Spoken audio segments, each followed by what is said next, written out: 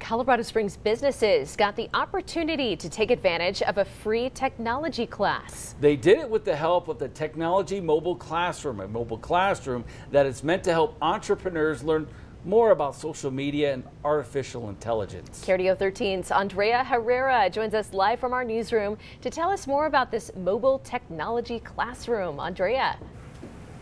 Yeah, the Mobile Technology Classroom is a 40-foot long bus that used to commute kids from School District 49. But now, when people walk into the bus, they'll be able to see a whole new bus with laptops, TV monitors, and soundproof foam inside.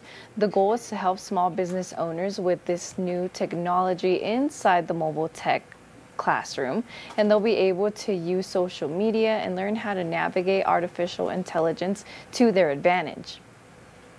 So the purpose of my focus on technology and, and, what they need to know is really what systems and processes that they have to have in place in order for that to be more successful for their business. And so where it makes sense, we introduce technology to create what I call an operational efficiency. But it's not always about technology. Sometimes it's just about better business process. We have more information on how you can learn more about this bus and where it will be next on our KRDO website right now. Reporting live in the newsroom, Andrea Herrera, KRDO 13. Very cool.